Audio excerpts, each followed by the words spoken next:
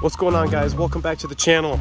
Tonight, today, we're rocking the Power Stroke. We got a 97 F350 with a couple of modifications. She's rocking 550,000 miles, but tonight I wanted to share something with you, the type of fuel we're using. And this is not gasoline. You guys gotta check this out. All right guys, do it.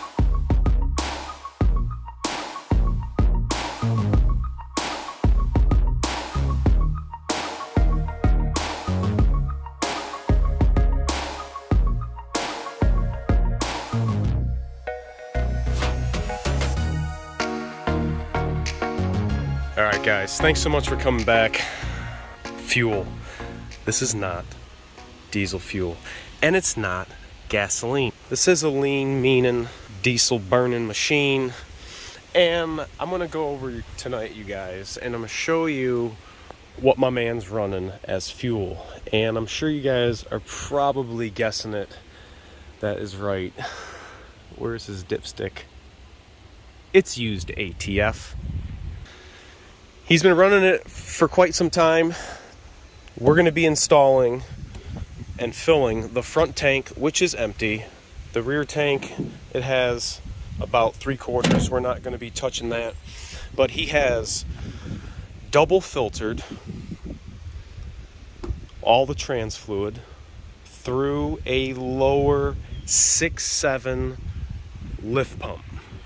And this is his process that he has been using and has been totally successful in running used automatic transmission fluid. He's not running fry oil, just transmission fluid. And I know a lot of people may think that uh, the truck's gonna smoke like a freight train, it's gonna be real unpleasant to drive, but we're gonna actually go for a ride. We're gonna check fuel pressure, compare it to the diesel, and um, there's going to be no smoke and mirrors. You're going to see exactly what we're going to add. All this trans fluid into the front tank. We're going to take some fuel readings off of the Schrader valve and we're going to show you, we're switching to the front tank. And I guess without further ado, let's dump this juice. Yeah, there may be some confusion with the placards. Don't, uh, Disregard Rabbit, Ramathorn. Here she goes, guys. Straight race fuel. Go-go juice. I should have had this ready. Ready to go. Three, two, one. Oh, right out the vent. Too much.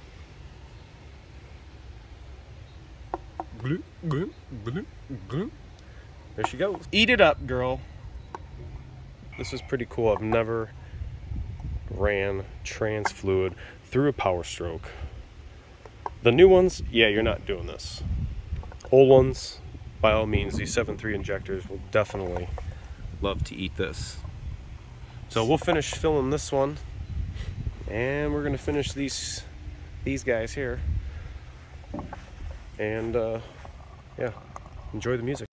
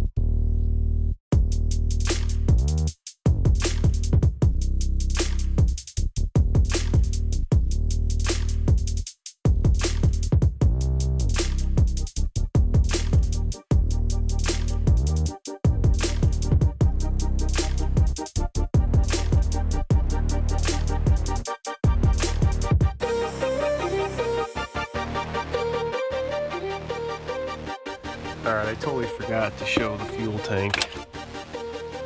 So right now, that's the rear tank.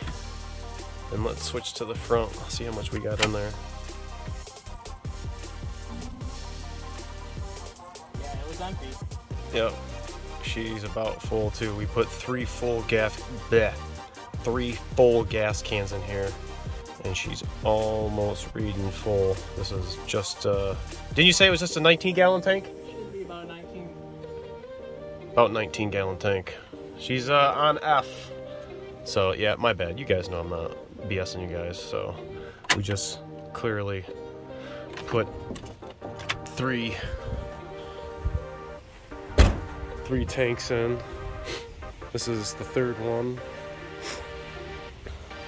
Here's the second one, and then this is the first one you guys saw us do. So definitely all that is in here. And this one is hissing away. Almost done. But it might blurp out. We'll be watching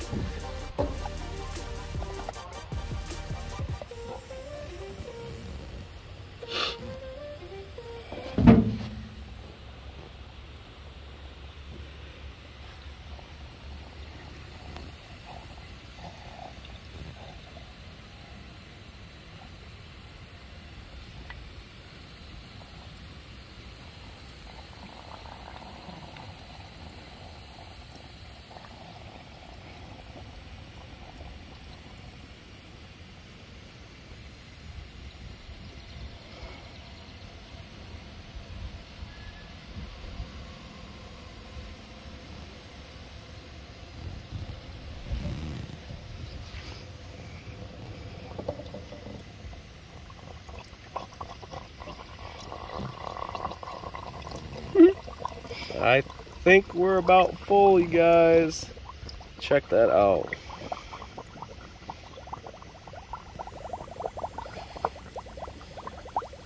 Wow. To the tippy, tippy top. 100% full with that. But is it?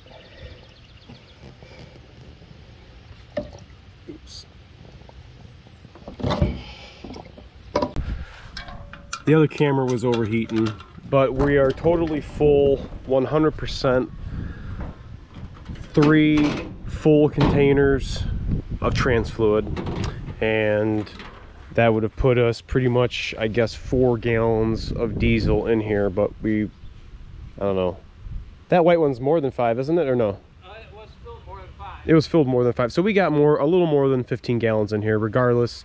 Um, you saw the empty cans. You guys saw us install all of them into the truck and both the front tank and the rear tank are full. Rear tank we're not going to be using but uh, as I said we're going to hook the fuel gauge up to the Schrader valve and we're going to take we'll take a fuel pressure reading and compare it to using it with ATF or using it with diesel fuel.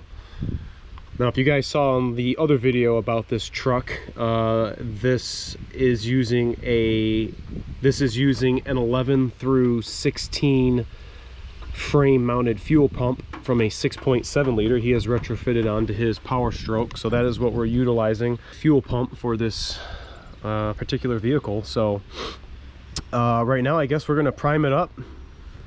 I switched it to the front tank. He's gonna turn the key on.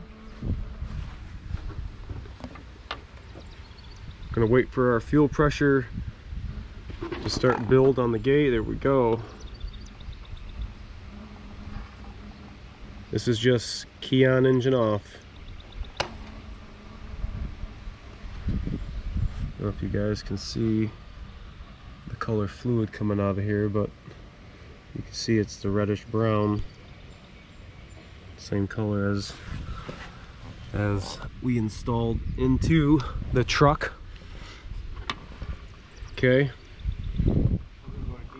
So we're gonna switch back to the rear tank.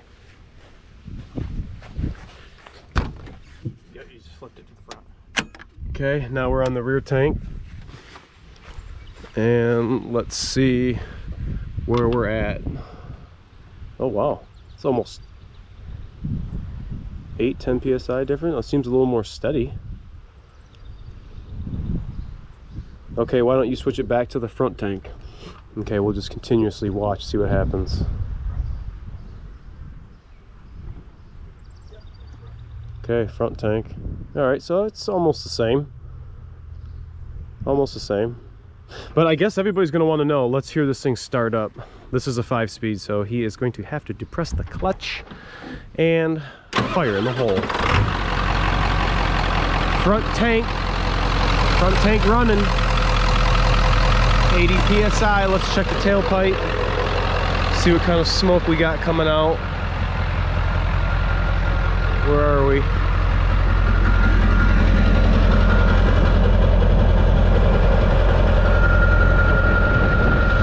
I smoke coming out right now, folks. So far, so good. I've never had a power stroke running ATF. Oh, I do. I can smell it. If I had the smellometer, you guys could definitely tell this is running ATF. Oh wow, totally can smell it now. No smoke. No smoke.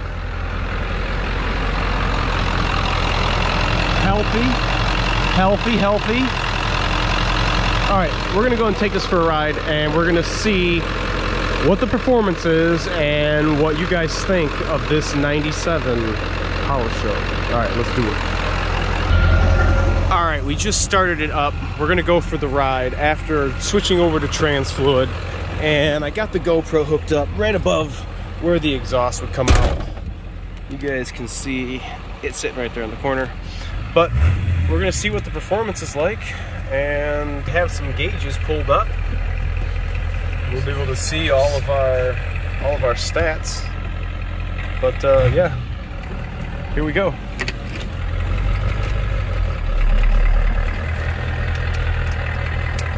Yeah, we're just shy of a full tank. Actually.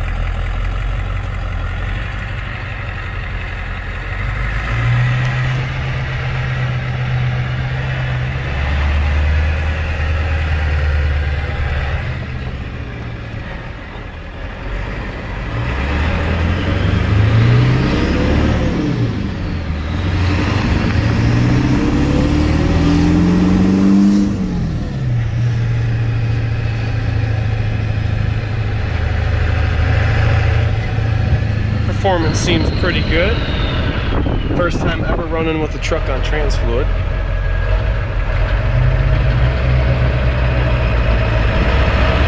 We're not mosquito fogging. I'll make sure to put the uh, footage from the GoPro in the back so you guys can see.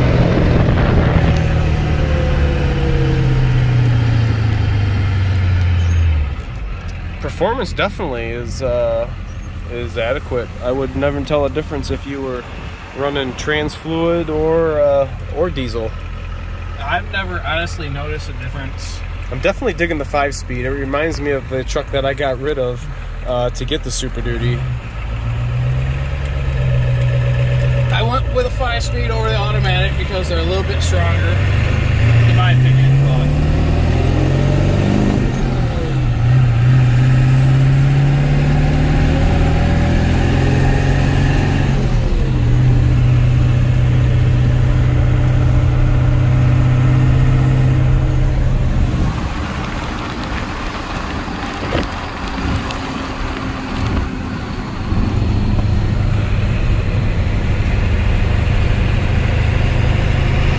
What do you guys think? Is this uh, something you guys would want to try? Do you guys have an OBS or an older uh, Power Stroke that uh, you'd be interested in running transmission fluid through? Some people run biodiesel. Um, I don't know a lot of people that run biodiesel, but uh, I have had a couple of shop, a couple of trucks actually come through the shop that uh, were running biodiesel, but uh, those are the ones that seem to had uh, water and fuel lights, and one actually had some organic growth in there and was uh, was not pretty.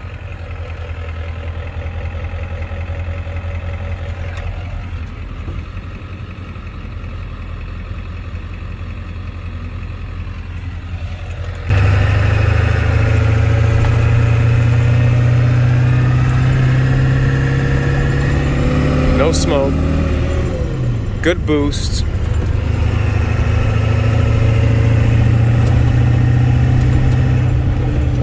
It's so funny how low the boost is compared to what our six seven and even our six liters for that matter uh, what what what they get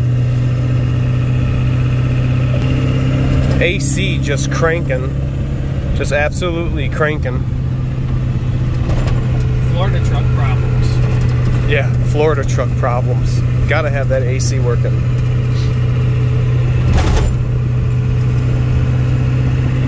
He- like a six liter. Yeah, I was just gonna say it rides like a six liter, and even uh, he had mentioned that the steering is so much better.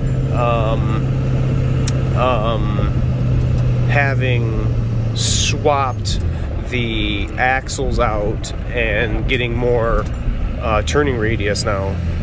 It also has the six liter steering box. Forgot about that.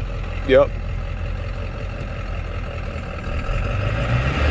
If you guys watched the uh, first video uh, talking about his truck, one of the things that we did forget to mention was that uh, he is actually rolling with a six liter gearbox that is bolted obviously right there at the frame um, and got away with the older one that obviously came with the truck. So that was definitely an upgrade for number one for the steering. So I know a bunch of guys are gonna want to know: Have you ever experienced any death wobble after doing any modifications uh, like this to your truck? Zero death wobble. Zero death wobble. Absolutely zero. So we're aligning it to uh, the uh, specifications of 6.0. Actually, going to get on the interstate here.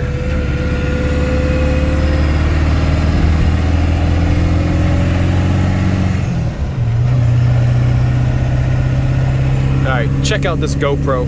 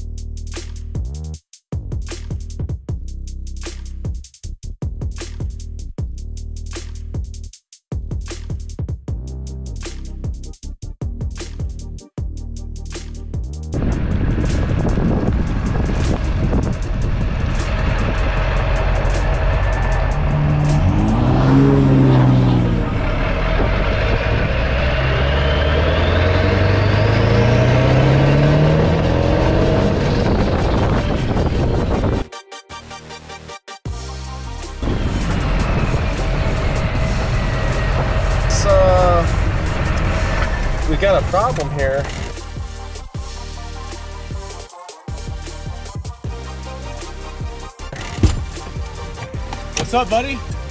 You alright? You want to be in a YouTube video? Well, we were just riding here on the the Power Stroke doing the ATF pull, and uh, we we just saw this lovely specimen, but it's on the side of the road, and I hope it's not bad. It's not bad. It's just just a rear end. Oh, okay, okay. Oh no. Don't usually see these around. 347. Um, aluminum heads, AFRs. I got 185 on it. I'm Right running a, a TKO 500 trans, which I was actually testing out today. This uh, first day after everything done. Doing some uh, test hits on it. Then took off from the light, spinning real good. Went to grip it up a second. Boom. It goes rear end. So it, yeah, man, it was on fuck. It was gripping from all the way back there. So Oh, really? That's too bad, man. Did you get to have fun though for one? Oh yeah. Just once, I guess, and then it busted. Yeah, it's alright though. As long as it's not the trans or engine, I can take that out. I go buy it. Right on. stuff when I get back home. Throw in weekend. It's part of the game. Right, that's how it is, man. Test and tune. Test and tune. I like it, I like it, I like it. I like it. Well, guys, this is going to conclude the video for today. Uh, let me know what you guys think in the comment section below about running automatic transmission fluid through these old Power Strokes. Let me know if anybody of you guys have ever done it. Uh, I'll be curious if anybody's going to try it with their 6.7. I suggest not. But let me know in the comment section. Thanks so much for watching. Remember to like, comment, sub, share, and I'll catch you guys all next time.